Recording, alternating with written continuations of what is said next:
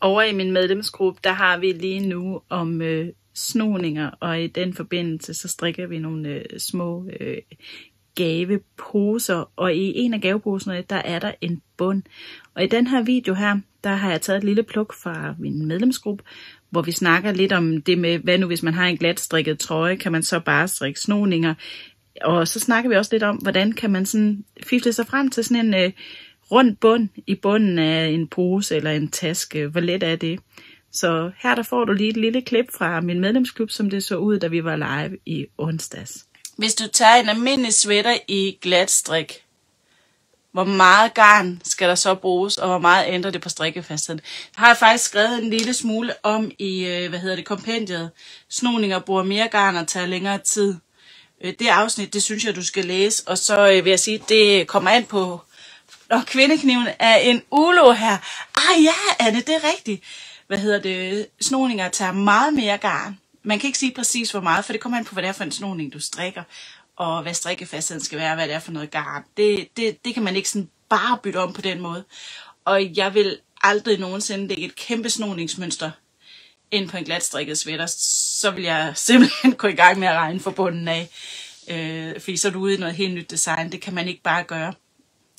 Slet ikke, fordi du vil også pludselig have mange flere masker, men du skal stadigvæk have taget ind, for eksempel til et fint kuppelærm, eller en ravland, eller et rundt bærestykke, på en god ordentlig måde.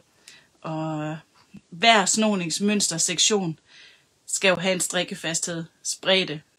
Og det er, det er langt vanskeligere end så meget andet at regne om. Så det er faktisk et større kursus i sig selv. Men jeg kunne sagtens finde på at, at lave en bluse, hvor jeg bare satte måske en enkelt snoning ind, som jeg har gjort her. Og hvis man kigger på Søndermarken, som der er med i som opskrift, i det her kompendie her. Hvis man kigger på den, så kan man se, at det ene forstykke, det har lige en anelse flere masker end det andet, og det har det, fordi at de her snoninger her, de tager mere plads. Så man kan desværre ikke bare lige lave om på det på den måde med snoninger og, og smække en masse snoninger ind. Desværre. Men det er et godt spørgsmål, Charlotte. Og jeg kunne godt finde på, jeg bruger tit øh, snoninger, som jeg lige sætter ind mellem mine raglandmarkeringer her. For eksempel sådan en lille firmasket snoning. Og der er jeg altså ikke ind og beregne noget ekstra overhovedet. Der ligger jeg den bare ind øh, mellem min ravland. Øh, ind- eller udtagning afhængig af, hvad vej det er, den er strikket.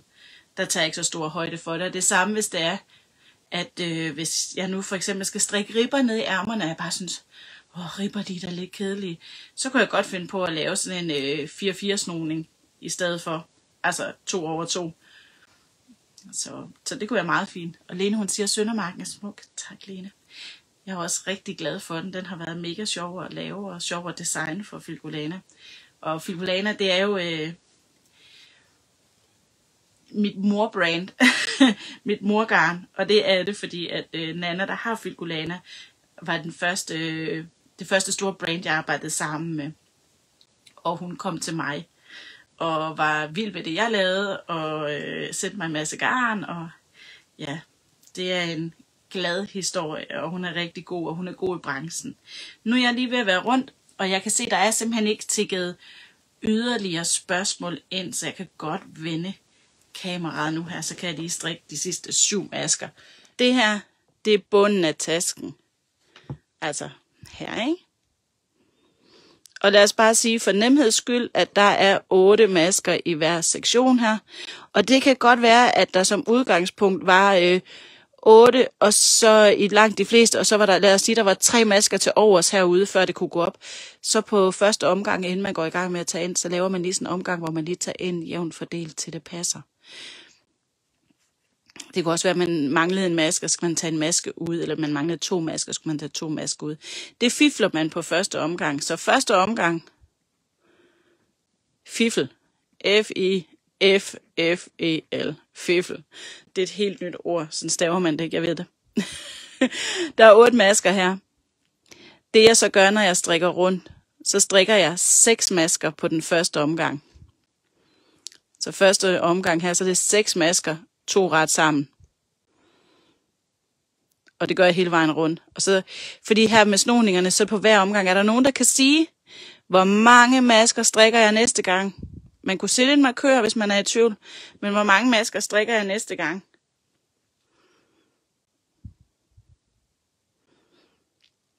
Og jeg afventer lige, for jeg ved, der er forsinkelse på, så jeg skal ikke bare brælle ud med det.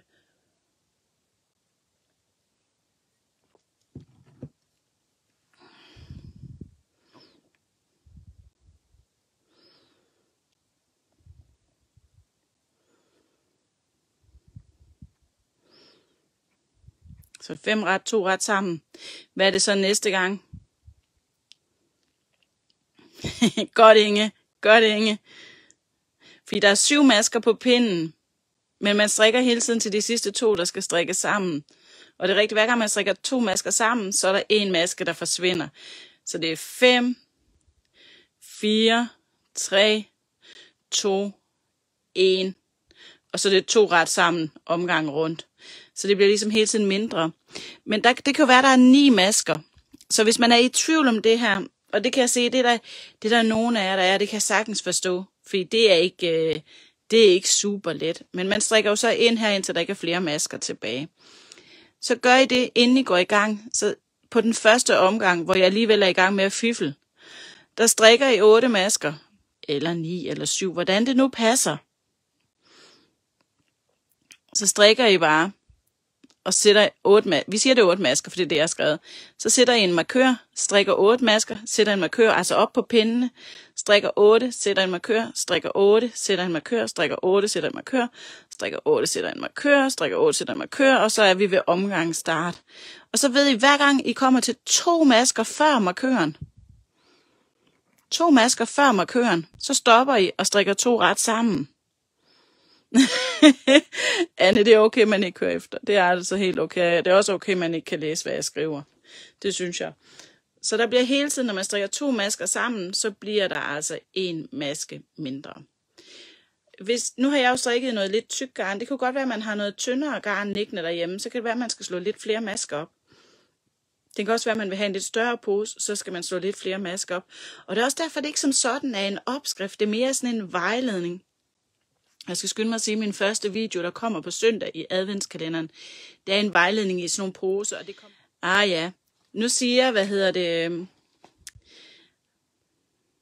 nu siger Alice, hvordan finder du ud af, hvor mange masker du skal starte med, før to ret sammen? Det må have betydning for, hvordan bunden ser ud og bliver. Ja. Lad os sige her, øh, at jeg har, jeg laver lige sådan en streg her, ikke?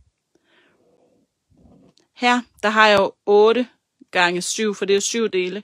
8 gange 7, er der nogen, der kan regne det lynhurtigt for mig? 56. 56 masker. Sådan der. tak, tak.